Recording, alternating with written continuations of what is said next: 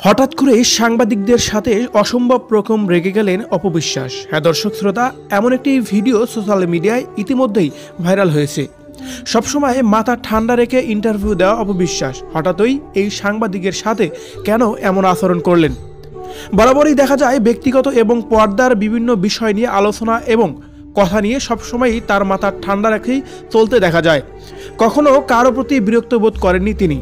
সেই বিষয়গুলো দেখে ভক্তরা সবসময় অপবিশ্বাসের প্রশংসাই করে থাকেন। কিন্তু সম্প্রতি এক ইন্টারভিউ দেখা গেল ভিন্ন চিত্র।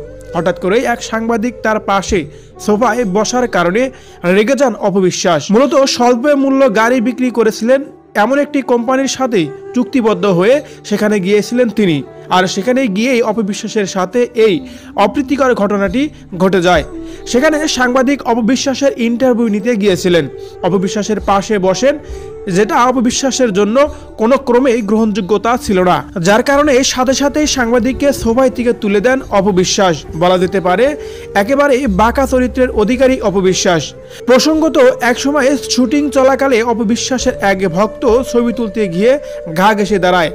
আর সেখানেও রেগে গিয়েছিলেন অপবিশ্বাস। অর্থাৎ অপবিশ্বাস এগুলো একদমই পছন্দ করেন না, যেটা এবার যেন আবারও প্রমাণ করে দিলেন তিনি। তবে অপবিশ্বাসের এমন কর্মকাণ্ডে অনেকেই প্রশংসাও করছেন।